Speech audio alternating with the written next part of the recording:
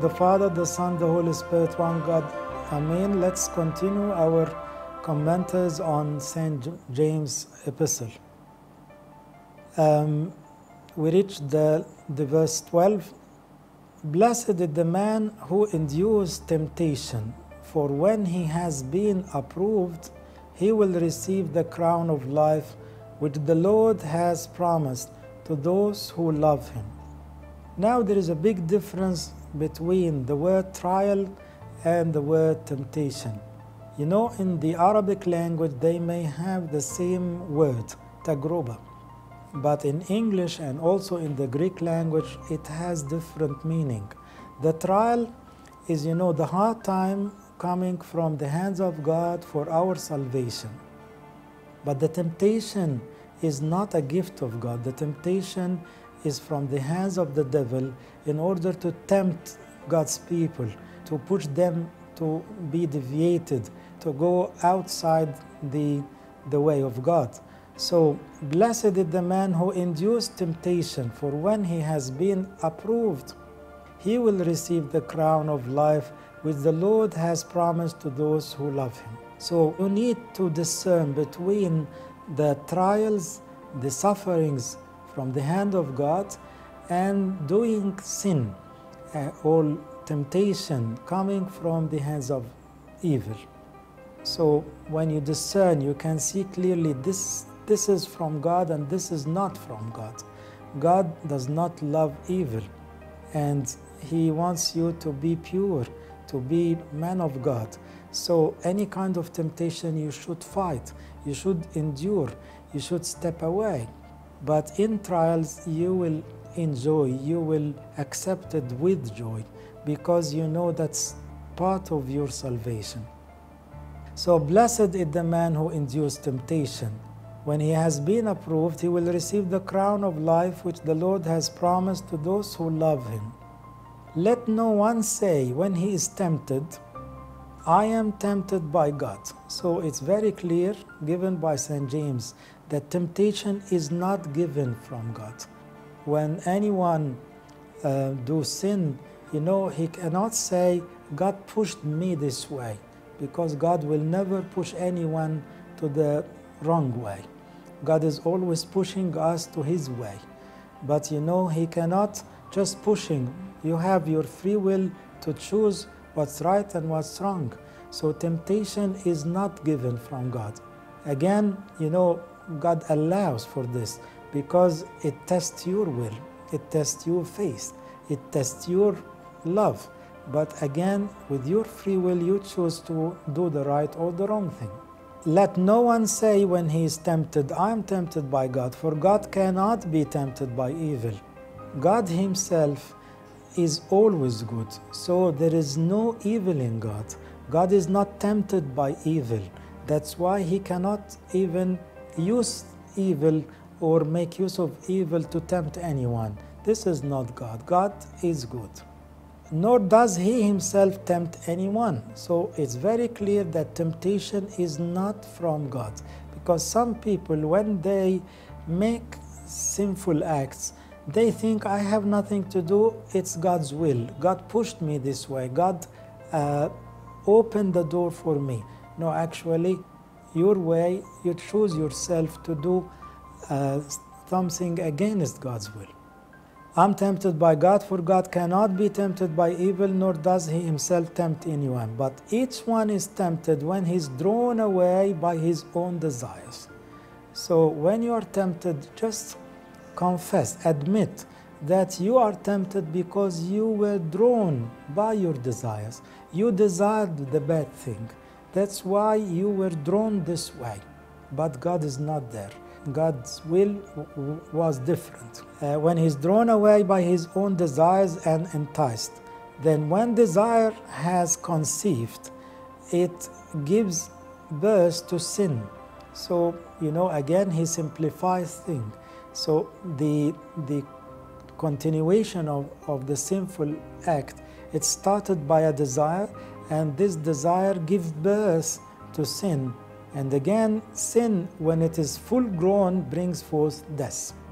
So, like three steps you desire bad thing, and then you do the sin, and if you continue in this sinful life, you will end up with death. And this whole way is not God's will. It's against God's will. God, God's will is the salvation of everyone, the pure life of everyone, the goodness for everyone.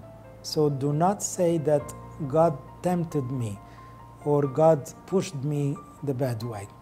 Again, we differentiate between the trial given by God, the suffering. Some people may say that this is evil. Actually, this is not evil.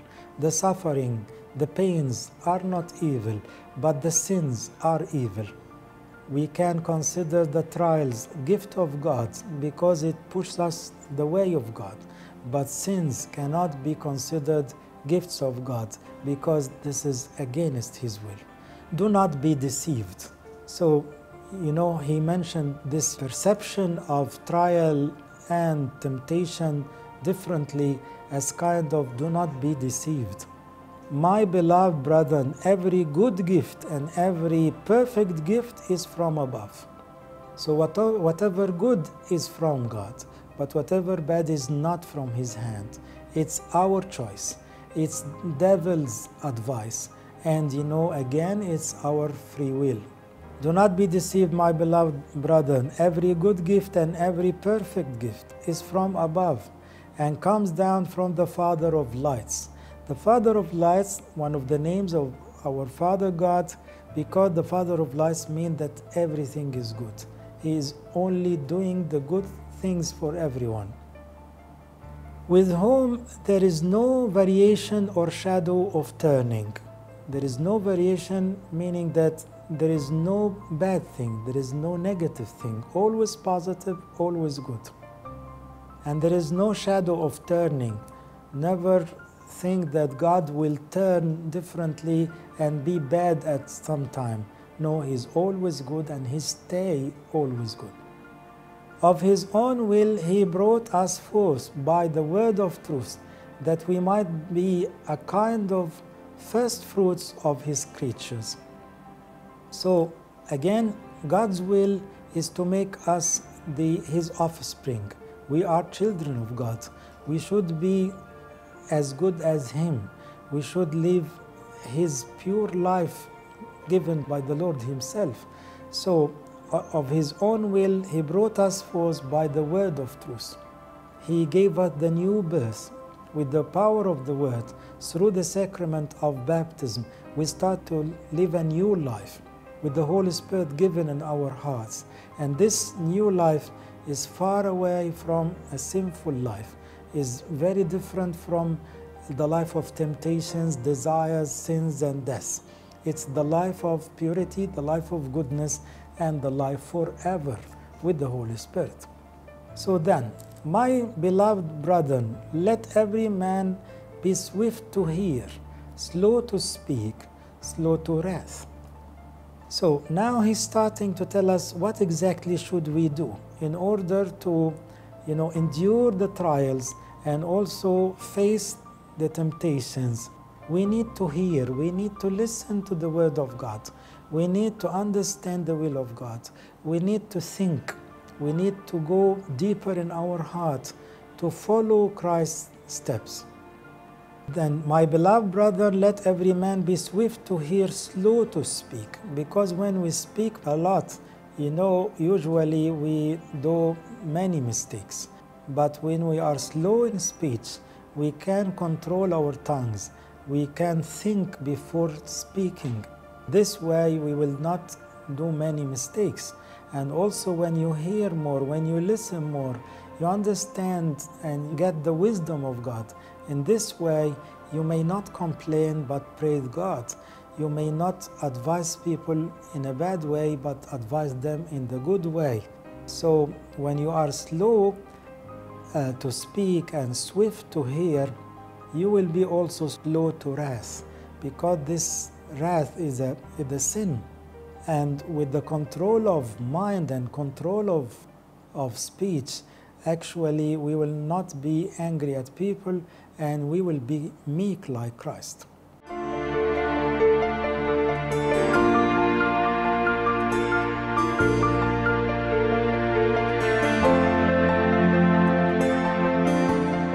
The wrath of man does not produce the righteousness of God. So, if you like to be as righteous as God, if you, are, you like to be Christ like, you should avoid this wrath which stands against the will of God. Therefore, lay aside all filthiness and overflow of wickedness, and receive with the meekness the implanted word which is able to save your souls. Lay aside all filthiness and overflow of wickedness. So he's telling us what to do. And again, look to St. James after he mentioned the two major um, points of trials and temptations. And he made it clear that trials from the hands of God and temptations not from the hand of God. In this case, we can accept it happily and pray, asking for wisdom, stay humble. This case, we should fight the sin and control our desires. Then he is now telling us how to behave, how to listen carefully, how to speak in a good way, how to be, you know, self controlled, expressing our anger, feelings, and then lay aside all filthiness and overflow of wickedness and receive with meekness the implanted word. Again, St. James always simplifying things with the examples he gives. Exactly like the Lord was telling us the many parables and many examples.